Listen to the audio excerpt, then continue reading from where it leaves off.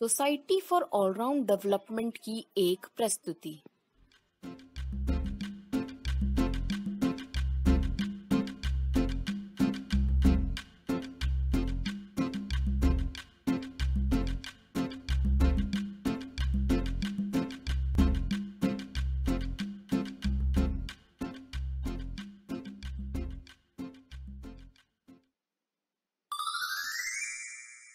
यह घड़ी है, इसके एक तल को पेंसिल से ट्रेस करते हैं।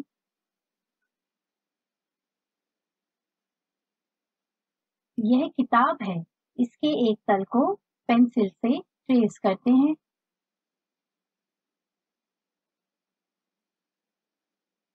यह पासा है, इसके भी एक तल को पेंसिल से ट्रेस करते हैं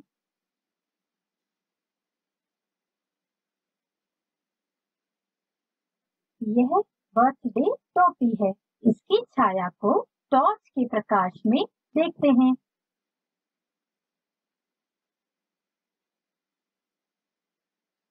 यह कप है।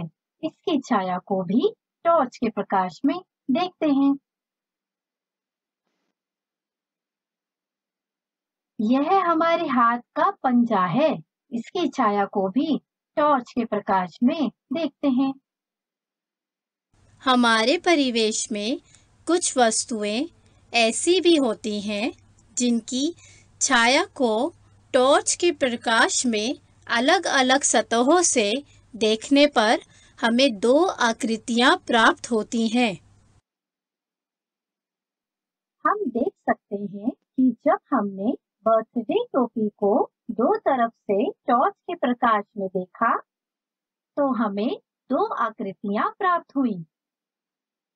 अर्थात हम यह कह सकते हैं कि परिवेश में कुछ वस्तुएँ ऐसी भी होती हैं, जिनके ट्रेसिंग और छाया से दो आकृतियाँ प्राप्त होती हैं। ट्रेसिंग और टॉर्च के छाया के बाद हमें अलग अलग आकृतियाँ प्राप्त होती हैं।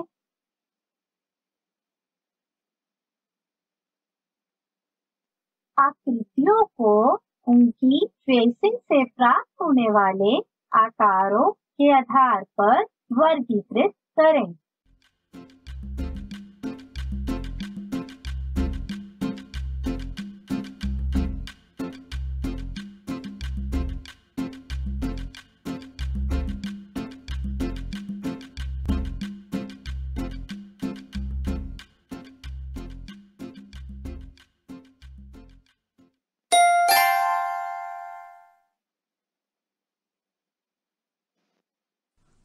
पता लगाएँ नीचे दी गई वस्तुओं की छाप करने पर कौन सी आकृति बनेगी?